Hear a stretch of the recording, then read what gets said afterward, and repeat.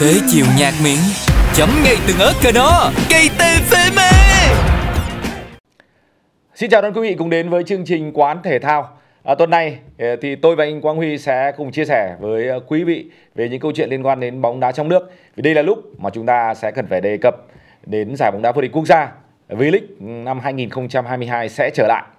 Anh Huy này, chúng ta đã cùng uh, Ờ, đón nhận những ờ, thông tin có thể nói là ờ, rất là tích cực ừ, từ bóng đá trẻ Việt Nam sau tấm huy chương vàng mà chúng ta bảo vệ được ở SEA Games trên sân nhà. Rồi không lâu sau đó là việc chúng ta lọt vào vòng tứ kết của giải U23 châu Á một cách đĩnh đạc. Chúng ta không thể giành quyền đi tiếp, nhưng chúng ta đã trình diễn một bộ mặt có thể nói là rất là sáng sủa cùng với một huấn luyện viên mới. Bên cạnh đó thì lứa cầu thủ này cho dù không có những nhân tố quá nổi bật nhưng lại đã chơi cùng nhau, có thể nói là hết sức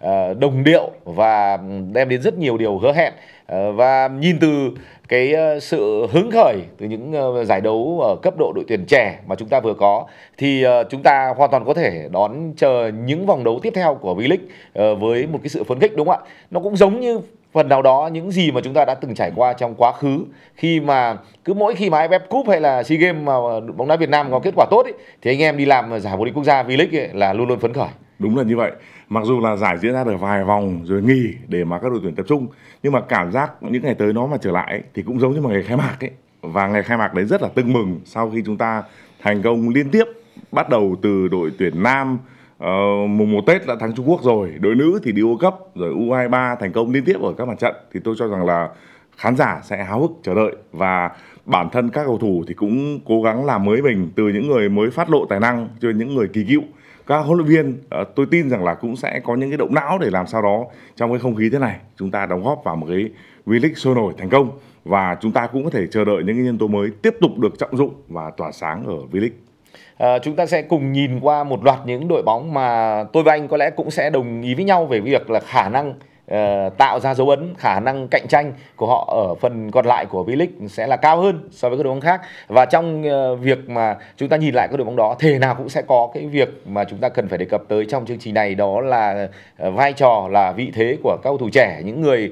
vừa trải qua những chiến dịch có thể nói thành công với đội U23. À, đầu tiên chúng ta đề cập đến câu lạc bộ Hải Phòng đi, một sân đấu rất là đẹp một cái bầu không khí luôn luôn sôi sục của người người dân đất cảng. À, những cái hoạt động để ờ, gọi là chuẩn bị cho sự trở lại có thể nói cực kỳ tích cực khi mà họ tổ chức một giải đấu rất là xôm. Rồi cho dù không có được chiếc vô địch nhưng họ đã trình diễn một cái lối chơi ờ, có thể nói là nhìn nó nó rất là thích mắt với bàn tay của huấn luyện viên Chu Đình Nghiêm. Anh có nghĩ rằng là đội Hải Phòng đội đang dẫn đầu V-League ờ, sau 4 vòng một cách tạm thời đó sẽ tiếp tục duy trì được những gì mà chúng ta cảm nhận được một ờ, cách hết sức tích cực của họ ở mùa giải năm nay không? Hải Phòng thì đúng là ông Chu Đình Nghiêm cũng đã để lại những cái dấu ấn ờ, đường nét của mình và thêm một lần khẳng định rằng mình là một nhà cầm môn tài năng và có một cái điều rất đáng quý nữa đấy là không khí sục sôi của đất cảng đã thực sự trở lại rồi chúng ta đã có mặt và chứng kiến uh, một bầu không khí thật là tuyệt vời Ờ, tôi tin rằng là không khí đó ờ, rồi là những cái nét chơi của anh Nghiêm vẫn tiếp tục được duy trì. Tuy nhiên Hải Phòng lực lượng hơi bị mỏng. Thành ra là đây, cái câu chuyện này ờ, đấy, chúng V-League thì là giải đấu kéo dài. Thành ra tôi có thể nói rằng Hải Phòng năm nay là đội bóng thú vị và đáng xem. Nhưng mà để mà một chặng đường dài như vậy có thể duy trì được không thì tôi nghĩ rằng là chúng ta cần phải chờ đợi thêm. Bởi vì rõ ràng tại V-League có đến ba bốn đội, lực lượng là dày hơn Hải Phòng tất nhiên là có thể nét đá thì còn loạc choạc còn đang có những cái vỡ vạc ra. Ờ, đấy thì Hải Phòng cái, cái cái kiểu chơi của họ ổn định và sẽ còn mạnh hơn khi mà có một số tuyển thủ trở về. Nhưng mà lực lượng mỏng thì đấy là cái cái tôi nghĩ là anh Nghiêm sẽ phải đối mặt với câu chuyện này để mà làm sao đấy đạt được mục đích của mình. Họ có là ba ngoại binh về cơ bản là rất là ổn theo một cái trục dọc đúng không ạ? Có Empande là được sử dụng ờ, như một ờ, trung vệ. Gần đây đá trung vệ rất tốt. Và cần thì đẩy lên đá tiền đạo lúc bí đấy là cũng có thể giải quyết được nhiệm vụ. Và thực ra là trong cái giai đoạn đầu của V-League năm nay là anh ấy từng ghi bàn rồi đấy. Đúng rồi. trong vai trò như một trung phong đấy. Uh, Moses đá tiền vệ thì có lẽ là cũng không phải là loại thường về V-League trung rồi. tâm hàng đầu V-League rồi. Đúng rồi thì chính là như vậy. Còn ở phía trên ờ, thì uh, uh, Rimario, Rimario. thì anh bạn ấy là chạy khắp sân Vâng. làm tất cả những việc gì cần làm cho đội bóng của mình. Và cái cái sức lực đấy là một cái thứ điểm tựa rất quan trọng. Cho dù cái sự gọi là nhạy cảm với các bàn thắng ấy không phải lúc nào cũng tốt nhưng mà dù sao lên nữa thì cái sự sông sáo này nó là là một cái điểm tựa và để cho các vệ tinh khác của Hải Phòng đá. Mà thực ra cái, cái cách đá của ông anh Chu Đình Nghiêm ấy thì nó có rất nhiều đất cho các cái vệ tinh khác. Mà ở đây chúng ta cần phải nhận nhận thấy rằng là những ờ, cầu thủ đã từng được lên tuyển như là Châu Ngọc Quang, như là Hải Huy, ờ, như là Triệu Việt Hưng sẽ là những nhân tố sẽ giúp cho lối đá của Hải Phòng bùng nổ theo nhiều cách khác nhau đúng không ạ? Nhưng Đúng mà như chúng ta có thể nói gì về những cầu thủ trẻ của Hải Phòng? Ví dụ như trường hợp của Dũng Quang Nho theo anh khả năng Dũng Quang Nho có được sử dụng nhiều ở Hải Phòng không? tôi nghĩ là Quang Nho sẽ được sử dụng nhiều bởi vì là ở đấy nhiều khi lên tuyển các huấn luyện viên có những cái thử nghiệm thì về câu lạc bộ lại được dùng ở những cái vai trò mà thử nghiệm Ờ, Nho thì có thể cạnh tranh ở vai trò tiền vệ trung tâm. Đất nó hơi chặt đúng không? Chúng ta đã thấy một Triệu Việt Hưng rồi là Châu Ngọc Quang chưa kể là Hải Huy đã thành danh rồi thì có thể là là đôi lúc là chật trội như vậy. Nhưng mà Nho đã từng đá được cả hậu vệ bên phải và lên đá cả vị trí cao trên hàng tiền vệ nữa. Thành ra tôi nghĩ rằng là những thử nghiệm của U23 cũng là một cái hành trang để anh Chu Đình Nghiêm có cái đánh giá và biết đâu đấy sử dụng Quang Nho trong một vai trò khác. À, thì ờ, điểm lại các khuôn mặt như vậy tôi vẫn thấy lực lượng Hải Phòng là mỏng và cả một hành trình dài như vậy uh, có thể là họ sẽ phải có thêm những cái bổ sung và xoay tua một cách hợp lý để mà mà đạt được mục đích của mình ờ, ở Hà Phòng Ngự thì ờ, họ sẽ có sự trở về của Văn Toản đúng không? ạ? Một người cũng gặp những cái khó khăn nhất định ở giải U23 vừa rồi, nhưng tôi tin rằng Văn Toản vẫn là một cái sự lựa chọn không tồi cho vị trí thủ môn. Hà Phòng Ngự thì ngoài FAD chúng ta đã kể rồi thì một loạt những cầu thủ khác nhất là ở hai vị trí với biên có những cái tên trẻ chưa thật sự nổi bật. Nhưng uh, tôi nghĩ rằng là trong cái ờ, quá trình phát triển cùng với V-League thì họ sẽ trưởng thành lên. Uh, vấn đề là họ có nắm được cái cơ hội của mình không? Hay nói cái khác là những con người như là trường hợp như Dũng Có Nho chẳng hạn ấy, thì có phát huy được cái cái tính đa năng của mình hay không? Bởi vì vốn dĩ là đa năng rồi thì huấn luyện viên sử dụng họ ra sao và họ sẽ nắm bắt cơ hội như thế nào? Nhưng tôi tin rằng là cái điều quan trọng nhất với bóng đá Hải Phòng vào lúc này ấy, là sự nhiệt huyết. Khi họ ờ, chơi một thứ bóng đá mà cái đầu của họ rất là là nhẹ nhàng tức là không bị vướng bận điều gì cả cứ vậy là hết mình với trái bóng ở trên sân đi thì tất cả cái sự hậu thuẫn khác ở từ bên ngoài từ sự gọi là cổ vũ nhiệt tình từ sự ủng hộ từ các cấp lãnh đạo chẳng hạn để giúp cho họ trở thành một cái thứ gọi là cạnh tranh. Tôi nghĩ rằng là rất là quyết liệt đấy nhất là những trận đấu trên sân nhà của họ. Đúng là như vậy. Hải Phòng chắc chắn sẽ là một điểm đến thú vị và người dân nơi đây có thể tự hào về câu lạc bộ của mình. Ờ, sẽ là một lối chơi rực lửa và đầy tinh thần cống hiến đúng như cái chất của Hải Phòng. Thế còn tôi vẫn cho rằng là Hải Phòng đặt mục tiêu có huy chương là có thể khả thi. Chứ còn đến trước vô địch tôi vẫn cảm giác là uh, cũng không biết được bởi vì V-League cũng đã từng chứng kiến những nhà vô địch bất ngờ tuy nhiên là là về mặt lực lượng đến lúc này tôi tôi theo suy luận của tôi thì với Hải Phòng có thể là cái việc phấn đấu top 3 nó là khả thi bởi vì nói cho cùng họ mới xây dựng lại thôi thành ra cái việc mà đi lên từng bước một cũng có cái tốt chứ đùng một cái có khi vô địch như Hải Phòng hiện nay có thể lại không tốt Vâng, nói về thành tích của câu lạc bộ Hải Phòng ở mùa giải tới thì có thể là còn hơi sớm. à, nhưng trước hết thì là họ vẫn đang là đội dẫn đầu của V-League. à, và một điều mà tôi dám tin vào lúc này là các đối thủ đến với sân Lạch Tray ở mùa giải này sẽ ngại hơn đấy, Vâng. đúng không? Nhưng mà dù sao cái ngại đấy ấy, nó nên được chuyển hóa thành một cái bầu không khí mà tất cả mọi người cùng được chơi bóng, được được chia sẻ những cái niềm vui lớn nhất về bóng đá. Cái đấy là quan trọng hơn là cái việc mà đến mà ngại theo kiểu là như ngày xưa ấy là đôi khi là bị vướng về những cái chuyện nó nó không bóng đá tí nào cả, đúng không ạ? Thôi, đấy là câu chuyện về câu lạc bộ Hải Phòng với ờ, những cái tín hiệu có thể nói là rất tích cực, rất là sáng sủa cho dù họ cũng sẽ phải ờ,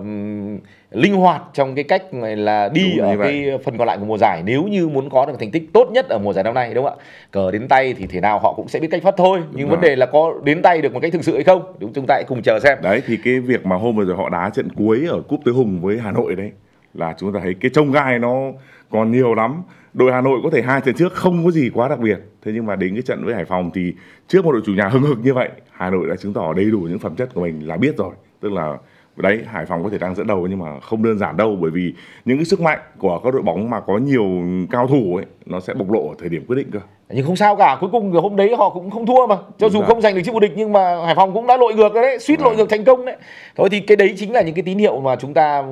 gọi là, là, là rất là là đáng để mà chờ đợi cho cái phần tiếp theo, những cái trận đấu nhất là những trận đấu trên sân lạch chay. Và ở cái vòng đấu tiếp theo, vòng đấu ờ, mở đầu cho giai đoạn à, quay trở lại này thì họ chỉ gặp câu lạc bộ Sài Gòn thôi trên sân nhà thì đấy lại là một cái cơ hội nữa để giúp cho họ củng cố được vị trí dẫn đầu đấy thì tôi nghĩ rằng là Hải Phòng sẽ có một cái bước đệm tốt cho cái chặng đường tiếp theo đúng là như vậy đấy Hải Phòng gặp Sài Gòn là quá nhiều thuận lợi để mà tiếp tục có cái ngôi đầu bảng Vâng, à, đội bóng tiếp theo mà tôi muốn đề cập đến là câu lạc bộ Hoàng Gia Lai. ờ, một đội bóng mà đã từng giúp cho chúng ta cái cảm hứng rất là hay trong nhiều năm qua ở V-League và đặc biệt là mùa giải 2021 khi đó họ đã dẫn đầu sau 12 vòng đấu. Ờ, không được trao chức vô địch nhưng họ xứng đáng với cái sự tôn trọng ở mức độ cao nhất dành cho đội bóng có phong độ hay nhất, ổn định nhất, kết quả tốt nhất.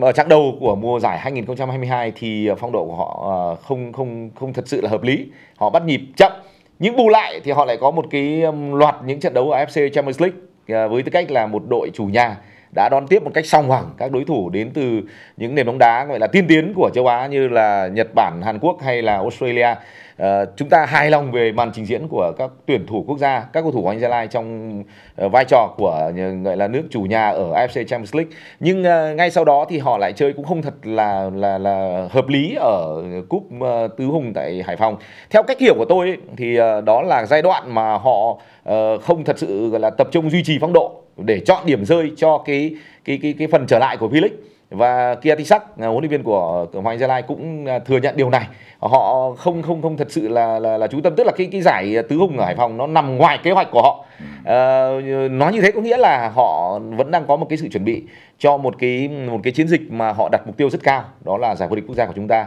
Họ có sự uh, chuẩn bị về mặt lực lượng là thay uh, vị trí trung vệ. Bởi vì là ờ, trung kim vệ Kim Đông Su thì phải quay trở về nước để chuẩn bị cho cái việc làm Làm nghĩa vụ quân sự. quân sự. Ờ, tiền đạo ờ, ngoại Bayano thì phong độ không cao thì họ cũng đã thanh lý rồi.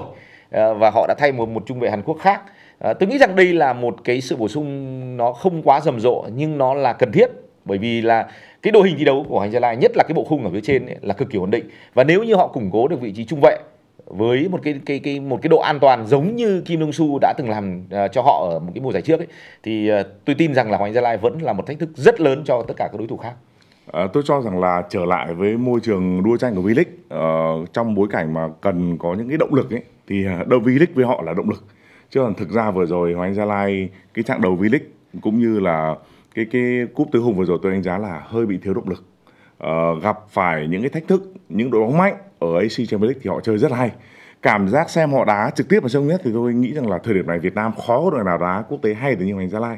Thế nhưng mà ngay sau đó thì trong một giai đoạn chuyển giao ờ, rồi là cầu thủ cũng chưa đủ, Kim Dong Su thì về và nói cho cùng ở cúp tứ hùng ấy thì cái chỗ mà Hoàng Gia Lai tệ nhất là hàng phòng ngự. Ở Kim Dong Su không có mặt, thành ra là thường xuyên để hở đối phương có thể dễ dàng xâm nhập ghi bàn. Ờ, thế thì V-League trở lại, tôi cho rằng vẫn là một nền tảng trong tay như vậy. Hoàng Anh Gia Lai sẽ quyết tâm hơn tính mục đích cao hơn và họ sẽ có những cái sự bổ sung tôi nghĩ rằng là là khi họ trở lại với cái động lực thực sự của mình thì lại là đội bóng đáng gờm thôi chứ không không không phải là đơn giản đâu Vâng, ờ, cái cái cái động lực của họ thì rất là rõ ràng nhưng mà cái động lực ấy thì nó cũng cần phải có cả thế nữa. Bởi vì là sau 4 vòng đấu đầu tiên của mùa giải thì họ chưa có chiến thắng nào cả. Và nên nhớ rằng là vòng đấu đầu tiên khi quay trở lại, họ phải làm khách trên sân Quy Nhơn của Top Airlines Bình Định. Một đối thủ có thể nói là năng lực hết sức là tiềm tàng, một lực lượng rất là dày, có một cái sự ờ, chuẩn bị và bắt nhịp phong độ là ngày một trở nên tốt hơn. Ờ, Bình Định là thua ở lượt trận ờ, đầu tiên đúng không ạ? Nhưng mà tất cả những cái gì sau đó thì mọi chuyện nó đã đi theo một cái guồng rất là thuận cái cho điều chỉnh của anh Thắng là thấy rõ qua từng xác. trận Đấy thì với cái trận đấu đầu tiên đấy tôi nghĩ rằng là mọi chuyện không hề đơn giản với Hoàng Gia Lai. Thì đúng là họ chưa thắng trước cái quãng nghỉ Ờ, thì lúc này đây đá sân Bình Định. Ờ, tôi cho rằng đối thủ là đá gờm ờ, và thi đấu sân khách, nhưng mà có thể đấy lại là một cái động lực để kích thích Hoàng Gia Lai đá một trận ra trò. Và nói cho cùng trận đó thì có thể là hòa trong một trận đấu sôi nổi thôi, cũng là một cái xúc tác để mà cả một chặng đường dài còn lại của V-League, họ sẽ có những cái cảm hứng. Với Hoàng Gia Lai thì ngoài động lực, cái cảm hứng chơi bóng rất là quan trọng, bởi vì chúng ta biết rồi, cái dàn cầu thủ chủ chốt của họ là vẫn đá trên tinh thần là đầu óc và kỹ thuật. Đấy, thành ra nếu mà có những cái thăng hoa, những cảm hứng thì họ sẽ là một cái khối rất là hay. Dù thế nào thì tôi vẫn chờ đợi Hoàng Gia Lai trở lại với cái sức mạnh của mình và sẽ là đội bóng chơi vừa đẹp lại vừa hiệu quả. Vâng, à, bất kể cái, cái cái kết quả của cái chặng đường đầu như thế nào, kể cả cái trận đấu ờ, ở vòng 5 khi gặp mà Top Airlines Bình Định à, sẽ diễn ra ra sao thì ờ, tôi cũng có một cái cảm giác rằng đây vẫn là thời điểm của Hoàng Gia Lai. Lứa cầu thủ này đang ở độ 9, họ có một cái sự bù đắp à, lẫn nhau, họ có một sự ăn ý ở mức độ rất là cao. Ờ, nhìn cách mà họ chơi ở FC Champions League như vậy, nếu như tiếp tục duy trì được một cái nhịp chơi, một nhịp mà tạo cảm hứng như anh vừa chia sẻ thì tôi tin rằng là cái cuộc cạnh tranh chức vô địch của mùa giải năm nay không thể bỏ Hoàng Gia Lai ra ngoài được. Đấy, và hôm vừa rồi ở Hải Phòng chúng ta cũng có một cái chia sẻ từ Bầu Đức ấy, là năm ngoái dịch, thành ra anh không thể tổ chức 20 năm anh làm bóng đá được. Thì anh ấy muốn coi cái năm nay là năm mà anh sẽ tri ân mọi người đã đóng góp cho anh Gia Lai, sẽ mời về đầy đủ các cầu thủ rồi những nhà quản lý, rồi là huấn luyện viên từng gắn bó để mà à, cuối mùa giải làm một cái buổi lễ thật là trang trọng. Thì chắc chắn là cao thủ cũng như kia khác đều hiểu rằng là trong một cái năm như thế thì cái chặng còn lại V-League phải chuẩn bị thật tốt và đá thật là ra trò. Nếu như vài năm vừa rồi bố Đức vẫn nói rằng là đá cho vui thì năm nay uh, chắc chắn là trong cái tiềm thức của họ không thể đá cho vui được. Họ phải có những cái động lực thật là rõ ràng. Vâng, bản thân Kia Sắc là một huấn luyện viên có tên có tuổi. Anh ấy đã từng vô địch với league với tư cách cầu thủ rồi. Bây giờ nếu như anh ấy vô địch một lần nữa với tư cách là huấn luyện viên ừ. thì cũng là hoàn toàn hợp lý. Vì vì anh ấy là một người có tài năng có cái sự khát khao và anh sẽ truyền cái khát khao đấy cho cầu thủ. Và bản thân cầu thủ anh Gia Lai, những người Ờ, trong nhiều năm qua luôn là tâm điểm của sự chú ý đối với những người yêu bóng đá. Nhưng mà họ nhìn cái tâm điểm đó trên cái góc độ của màn trình diễn của những kỹ năng cá nhân hoặc là một những cái tên tuổi nó không hoàn toàn là tập thể. Bây giờ là một danh hiệu tập thể. Và bên cạnh nó đương nhiên cũng có những cái uh, gọi là uh, ánh hào quang cho những cá nhân như công phượng như xuân trường như là tuấn anh. Họ hoàn toàn xứng đáng với điều này nhưng họ cần phải chứng minh sự xứng đáng đó bằng những kết quả cụ thể đúng không ạ? Và mùa giải năm nay sau khi mà dịch đã đi qua một mùa giải gọi là hoàn thiện thì uh, tôi nghĩ rằng là ờ, uh, Hoàng Gia Lai có có có những cơ hội nhất định nhưng sẽ không hề dễ như ở cái mùa giải 2021 đâu đúng không ạ? Vâng, đúng là năm ngoái thì họ đang dẫn đầu ờ, thì uh, giải lại phải hoãn rồi là sau đó hủy thì uh, có cảm giác là nó cũng nó cũng ảnh hưởng cái gì đó đến cái cái tâm lý cầu thủ giống như mình chuẩn bị đạt được mục đích thì mình không được thì lúc này Kisak cần phải làm cái công tác tư tưởng rằng là thôi năm ngoái coi như bỏ qua năm nay mình lại phấn đấu từ đầu đi để mà đạt được một mục đích của mình trong năm nay Vâng, ờ, đội bóng à, tiếp theo à, mà tôi muốn đề cập đến đó là câu lạc bộ Hà Nội. Đội vừa mới có được một à, giải thưởng rất là to trong một cái giải đấu giao hữu ở trên đất Hải Phòng. Ờ, đó là câu lạc bộ Hà Nội. Có vẻ như là cái quãng thời gian nghỉ rất là dài vừa rồi ờ, trước khi quay trở lại với V-League nó có lợi cho câu lạc bộ Hà Nội bởi vì đó là giai đoạn mà họ điều chỉnh được cái cái hệ thống thi đấu của họ. Ờ, trong cái giai đoạn đầu của của V-League 2022 ấy, thì họ cũng đã có một chiến thắng rất là cần thiết uh, trước Viettel rồi. Tuy nhiên là tôi nghĩ rằng là là là là là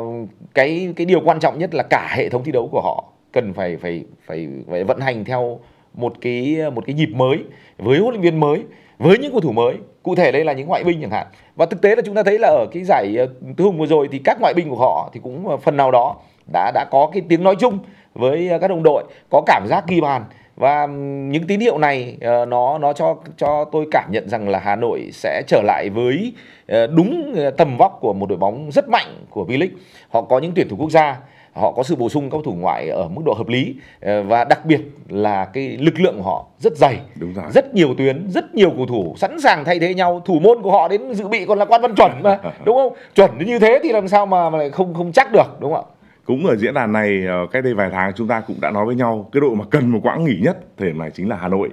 Để mà ông huấn luyện viên Hàn Quốc mới, ông ấy làm quen, rồi là đặc biệt các ngoại binh châu Âu ấy, những người nam tư cũ vốn là đá nắng nóng thế này ở Việt Nam là khó khăn, họ bắt nhịp. Thì rõ ràng họ đã có được vài tháng như vậy và không chỉ ông huấn luyện viên làm quen, đặt cái dấu ấn ờ, đội bóng cũng đã quen dần với việc không còn Quang Hải nữa, không phụ thuộc nữa. Các ngoại binh châu Âu cũng bắt nhịp tốt hơn. Đấy, đây là một cái điều tôi rất là thích đấy, bởi vì là mình vẫn muốn ly lịch của mình là có những cái màu sắc ngoại binh khác nhau thay vì chỉ là Nam Mỹ, Brazil với cả châu Phi thôi. Nhưng mà lâu nay châu Âu là vẫn bị khó khăn về thích nghi thời tiết thì thấy các ngoại binh ở Croatia rồi Serbia của Hà Nội chơi như vậy tôi rất là mừng. Ngoài ra thì mấy tháng vừa rồi U23 lại giúp cho Hà Nội phát hiện thêm nhiều tài năng. Bình thường có thể ở lò họ cũng biết là những người này rất là tiềm năng nhưng mà có thể chính họ cũng không ngờ rằng những tài năng trẻ đấy họ lại tiến nhanh như vậy đấy rồi quan văn chuẩn rồi là tiến long chẳng hạn. Trước ờ, đây văn vài tùng. tháng văn tùng cũng chưa có nhiều người biết anh có nghĩ rằng là cơ hội vào sân của họ sẽ là nhiều hơn đáng kể không? Hoàn toàn có thể bởi vì à, đây là huấn luyện viên mới và tôi cũng đã tiếp xúc với ông huấn luyện viên mới của Hà Nội thì cũng nhận thấy là ông ấy rất là là là có suy nghĩ tích cực về những cầu thủ trẻ. Nói chung cái gì tốt mới mẻ uh, là xúc tác là thúc đẩy tốt cho câu lạc bộ thì ông luôn luôn là ưu tiên. Thành ra tôi nghĩ trong một cái hệ thống này thì những tài năng trẻ kể cả mới phát lộ hoàn toàn có thể được sử dụng trong cái mùa giải mà mà hình như đội Hà Nội đang đang muốn chuyển một cái hướng khác thi đấu nó làm sao đến nó bề thế hơn và và có thể là là với một cái tư duy kiểu khác để vươn lên một cái tầm cao. Ờ, nhân nói về các cầu thủ trẻ thì chúng ta trở lại một chút với câu lạc bộ Anh Gia Lai ở cái giai đoạn vừa rồi chúng ta nhận thấy rằng là từ giải U23 Đông Nam Á này à, rồi đến ờ, SEA Games này à, rồi ờ, U23 châu Á này thì ở từng cái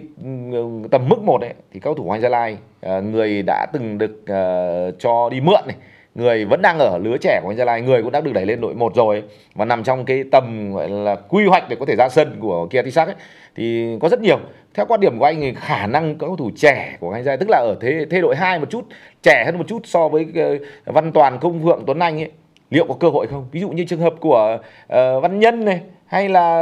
uh, gọi là Đình Lâm này Bảo Toàn chẳng hạn à. liệu có cơ hội không tôi nghĩ là có nhưng mà với anh Gia Lai có thể cài vào một cách từ từ Hà Nội Hà Nội nếu như có cơ hội thì cờ sẽ đến tay Tiến Long hay là Văn Tùng nhanh hơn thì tôi không bất ngờ. Nhưng với anh Gia Lai thì cũng có thể là là là cái sắc vẫn đang đang đang nhớ lại cái mùa giải trước ờ, và và thực ra những cái cầu thủ mà được trưởng thành từ cái lứa đầu tiên của Hoàng Anh Gia Lai Sena, GMG vẫn là những người mà tôi nghĩ là là đóng vai trò chủ chốt và và năm ngoái họ đã hụt chức vô địch rồi thì năm nay có lẽ Di Cố Thái vẫn mong muốn những con người đấy là nòng cốt của đội Hoàng Gia Lai để mà hướng tới cái chức vô địch sau nhiều năm chờ đợi. Những người kia có cơ hội ờ, nhưng mà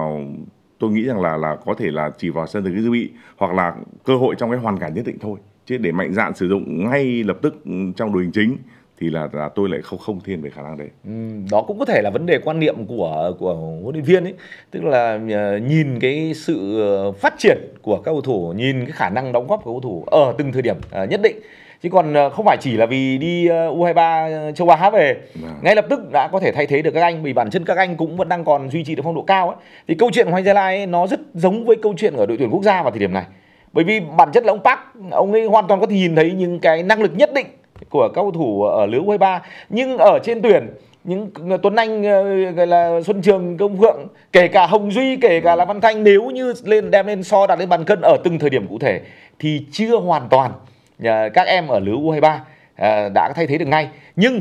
sự có mặt của các em ở lứa U23 rõ ràng là một nguồn động lực lớn để cho tất cả cùng phải phấn đấu. Các em thì có cơ hội để sẵn sàng cạnh tranh với các anh được gọi lên tuyển chẳng hạn, đúng không? Được ờ, đưa lên bệ phóng ở các cấp câu lạc bộ, đúng không? Thì hoàn toàn có thể là cạnh tranh một cách sòng phẳng nếu như tôi uh, mạnh uh, nếu như tôi hay hoàn toàn có thể được sử dụng ở một thời điểm nào đó à. trong một cả một cái mùa giải kéo dài. Và nếu như chớp được thời cơ nắm được thời cơ các em hoàn toàn có thể thay thế. Gần như ngay lập tức. Thế nhưng mà uh, cũng lên tuyển cũng vậy thôi. Không chắc là gọi lên 30 người thì sẽ cả 30 người đều có cơ hội như nhau đâu đúng không? Các anh ở cái top khoảng 15 17 cầu thủ chính ngày xưa. Trước đây thì vẫn sẽ là những cái lựa chọn hàng đầu đấy, nhưng mà bất kể một lúc nào các em hoàn toàn có thể sẽ được lên thay thế các anh đấy ở trong từng thời điểm cụ thể đấy. Và tôi nghĩ rằng đây là một cái động thái rất tích cực có lợi cho các câu lạc bộ cũng như đội tuyển quốc gia. Ở đây chúng ta nói một cách rất là tự nhiên thôi là với Hoàng Gia Lai cái lứa cụ đầu tiên của học viện Arsenal GMG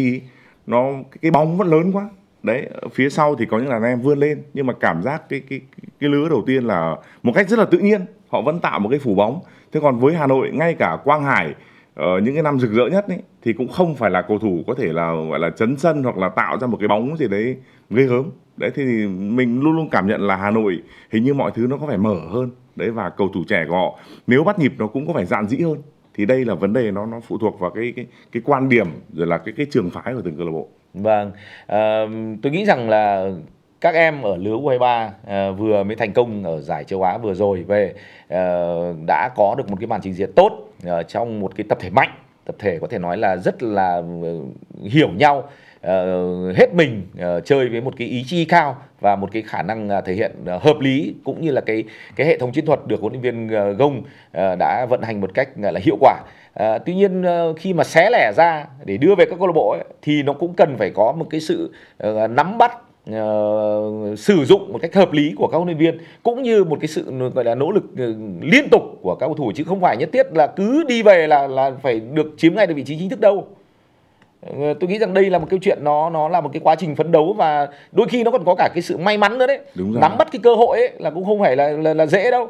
Uh, ngay như câu lạc bộ Viettel đấy chúng ta hoàn toàn có thể thấy rằng là bây giờ là Nhâm Mạnh Dũng này uh, rồi là Danh Trung này là chắc chắn là sẽ có một cái những cái cái cái vị thế nó nó ở mức độ cao hơn khi trở về với đội 1. Phan Tuấn Tài thì cũng đã gần như ngay lập tức được gọi về từ câu lạc bộ Đắk Lắk rồi, sẵn sàng uh, chơi cho V-League uh, phần còn lại ở năm 2022 này. nhưng liệu đá um, ừ, thường xuyên hay không nhất là vị trí của nhân mạnh dũng ấy, là không hề dễ một chút nào cả nhưng phải có một sự sẵn sàng để khi cần khi được uh, gọi tên khi được sử dụng ấy, thì phải thể hiện được đúng là như vậy bởi vì thực ra các em có được vinh quang là đá với cầu thủ trẻ với nhau đúng không? Thế còn đá với cả những cái đối thủ đã trưởng thành lại là câu chuyện khác. Và dù là các em có thể là trở về sau vinh quang thì cứ xác định về với câu lạc bộ của mình thì các đàn anh vẫn sẽ là những người giống như chỗ dựa để mà mình trưởng thành hơn, để mà anh em cùng với nhau. Ông trẻ thì có sức trẻ, có cái nhiệt huyết, có cái sông sáo. Còn ông nhiều tuổi thì có kinh nghiệm, có độ lão luyện để mà thành một cái khối và đội bóng nó sẽ hoàn thiện hơn, cũng như là nâng nâng nhau lên. Vâng, ờ, nói đến cái câu chuyện này, nói đến cái ý này thì ờ, tôi ờ, cũng muốn chia sẻ một cái, cái vấn đề là rất nhiều người lo lắng rằng là nếu như không có được chơi ở giải hạng nhất hay là V-League gì đó thì tài năng của các em ở lứa U23 vừa rồi sẽ thui chột. Tôi nghĩ rằng đây là một cái dòng chảy liên tục của bóng đá. Cuộc sống bóng đá nó luôn là như vậy à, khi các em đã phát lộ ra được những cái năng lực của mình thì ờ, chắc chắn là cái môi trường bóng đá này cũng sẽ sẵn sàng ờ, mở những cánh cửa ra để đón nhận cái khả năng thể hiện của các em. Nhưng các em bản thân các em cũng cần phải có một cái sự lao động sự phấn đấu không ngừng. Và nếu như tất cả những cái mối gọi là duyên của cả những tập thể của những đội bóng cũng như là cá nhân nó hợp lại với nhau ấy thì nó sẽ tạo ra được một cái sự gọi là thăng hoa và tiếp tục phát triển được cái sự nghiệp của mình. Còn không loại trừ có cả những trường hợp cho dù đó là điều mà chúng ta không mong muốn nhưng nó vẫn thường xảy ra trong đời sống bóng đá. Không phải ai ở cái lứa tuổi trẻ 19 đôi mươi hay 22 23 gọi là có được cái sự phát lộ về tài năng thì cũng thành công trong sự nghiệp đâu đúng không ạ? Mọi chuyện hoàn toàn có thể xảy ra. Đúng là như vậy và nhiều khi cuộc nó bóng đá cũng như cuộc sống là cần cái duyên nữa. Và và và và cứ tưởng là các đàn anh là che phủ đàn em nhưng mà nhiều khi về là đá với đàn anh thì sẽ tự tin hơn và sẽ phát triển hơn. Thì tôi cũng rất là hiểu cái cái ý sâu xa của mọi người rằng là đâu đó cũng sốt ruột bởi vì là chúng ta khi mà không thể đi được World Cup 2022 thì thì trong các cái cách nói có thể không nhắc đến nhưng mà vẫn âm thầm là muốn là làm sao đấy đẩy thật tốt lực lượng tuyến sau để mà hướng đến 2026. Tuy nhiên tôi vẫn cho rằng là để mà hướng đến 2026 thì uh, nỗ lực của câu lạc bộ cũng là chưa đủ đâu. Tức là phải có một cái chiến lược của cả nền bóng đá và từ liên đoàn nữa tức là đây là một câu chuyện khác và có thể chúng ta sẽ trở lại trong một diễn đàn khác nhưng mà nó là cần phải có một cái chiến lược. Chứ còn ở đây chúng ta chỉ đang bàn đến cầu thủ trẻ và V-League thôi thì nó là như vậy. Vâng, à, đó là câu chuyện liên quan đến ờ, đề tài ờ, về ờ, các cầu thủ trẻ U23 của chúng ta, những người vừa mới thành công ở giải đấu tầm châu Á à, và họ quay trở về với các câu lạc bộ thì liệu khả năng họ có thể có được cơ hội họ có thể nắm bắt được những cơ hội hay nói khác là họ có thể thành công được hay không? Họ tiếp tục duy trì được sự phát triển của mình hay không? Ờ, với giải bóng đá vô địch quốc gia với các cái giải đấu ờ, trong nước. À, thưa quý vị đó là những gì mà tôi và anh Quang Huy đã trao đổi đã chia sẻ trong chương trình quán thể thao tuần này. Xin chào và hẹn gặp lại trong các chương trình sau.